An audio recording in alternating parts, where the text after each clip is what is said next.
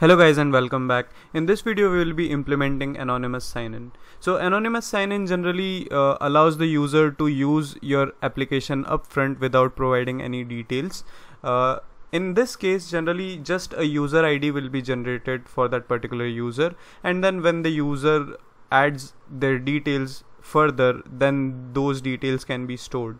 So uh, once the user logs in anonymously then we will just receive a UID in the user credential object. So let's see how we can implement that. So right now I'm in the application and let's create a method here. Um, I'll name this sign in anonymously. And in this case this will call the af auth dot auths sign in anonymously method. Okay. Now this is all that you need to do. Now again uh, as you can see this returns a promise which is of type user credential. So again we can do something along the lines of this. So I can simply copy this code from here and paste it here like so let's also quickly bind this method to the click of the button that we have for login anonymously.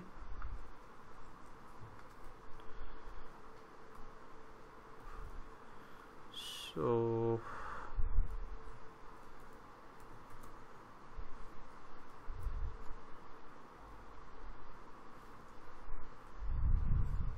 like this and let's save that and go back to the application to see um, what do we get. So let me just clear this all up. I'll click on login anonymously.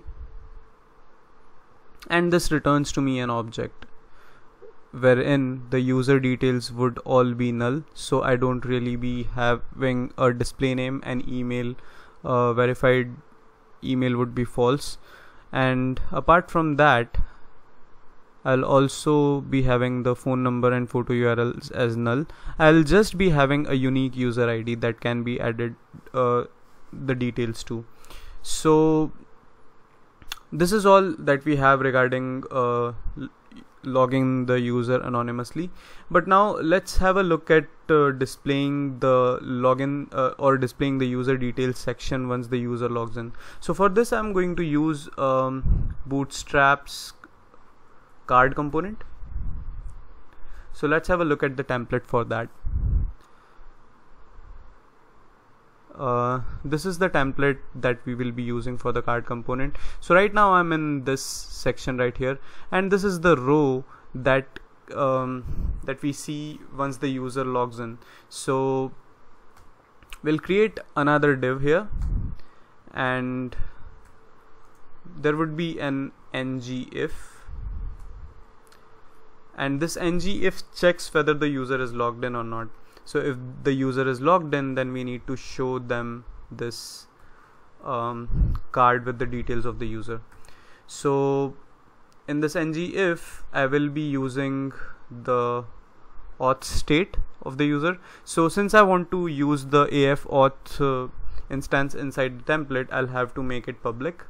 And then I can use it like so so af auth dot auth state. And since this is going to be an observable I'll have to pass it by an async operator to uh, open this up. And I'll make it as a user.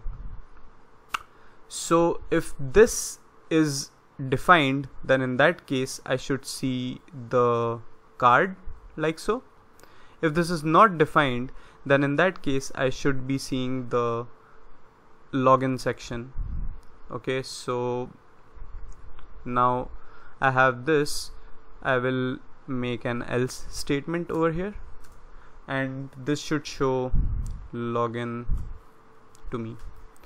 Now for login I'll just use ng template. And I'll name this as login. And then I'll simply cut this from here and paste it over here like so. Let's just quickly indent this a bit properly. Perfect. Alright so let me just save this and let's save this one as well. And let's go back to the application to see uh, what's going on here so now the user has logged in so that's why we are seeing this card. Uh, let's quickly implement the details for that particular user in this card. So as we can see uh, the details we would be getting for this user in this object are the display name. So we will use this as the title of the card. So the card title would be user dot display name. And then we have this which is the subtitle. Here we can use uh, something like say their email. And then we have uh, a link here. So instead of an href here we can simply bind this to the click event and then we can um, give the user a link to sign out or log out. Okay?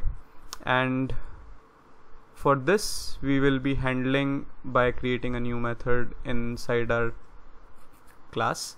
So log out. And this calls af auth dot auths sign out method. Like so. The sign out method uh, returns a promise of void and uh, we don't really have to do anything with that. So that's just it. We will be binding the click event of it to a method named logout. Like so let's see how this looks like in code. So I now have uh, these things here. Uh, let me just log out and log in with uh, a particular provider wherein I'll get all those details. So I'll log in with github via redirect. And let's see what the template looks like once I'm logged in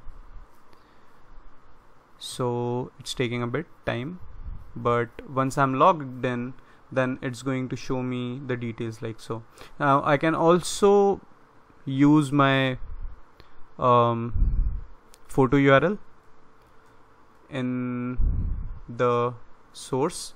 So I can bind to the source property of it and use my photo URL so user.photo URL and save that. And now this is going to get displayed something like this. Okay?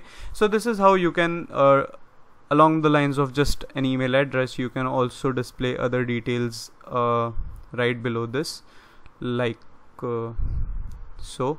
So you can simply add uh, multiple paragraphs to this particular card and then uh, those will get displayed as well on the template. And if I log in again if I log out again then I'm going to see this page like so okay? So uh, this was it regarding the anonymous sign in method. In the next video we'll be talking about implementing email and password sign up